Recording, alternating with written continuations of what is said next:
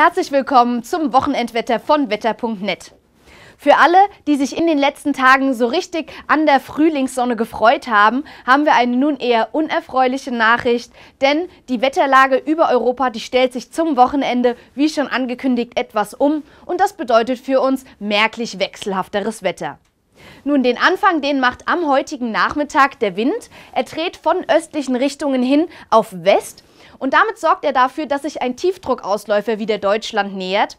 Der erste Vorbote dafür sind die Wolken über dem Norden Deutschlands, die sich gegen Abend immer weiter verdichten. In der Südhälfte Deutschlands dagegen, da herrscht weiter ungehinderter Sonnenschein, am Rhein Temperaturen bis hin zu 21 Grad.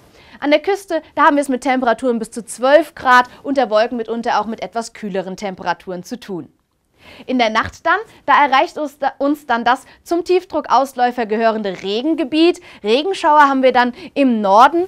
Richtung Süden allerdings, da bleibt es zunächst noch trocken. Die Temperaturen sinken ab auf 7 bis 0 Grad. Am Alpenrand, da gibt es dann also leichten Frost. Und der Wind, der frischt wieder merklich auf. Das gilt auch für die nächsten Tage.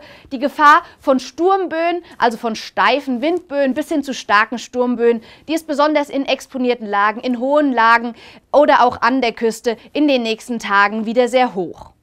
Dann zu den weiteren Aussichten, wie schon angekündigt, am Wochenende lange nicht mehr so viel Sonnenschein wie noch in den letzten Tagen. Am Samstag Temperaturen mit bis zu 7 bis 11 Grad, besonders in der Mitte Deutschlands bedeutet das mitunter einen Temperatursturz von happigen 10 Grad. Am Sonntag, da haben wir dann Regen, besonders in der Osthälfte Deutschlands. Am Montag, da ist es dann im Süden wieder etwas sonniger, die bei Temperaturen zwischen 9 bis 16 Grad und damit bis zum nächsten Mal.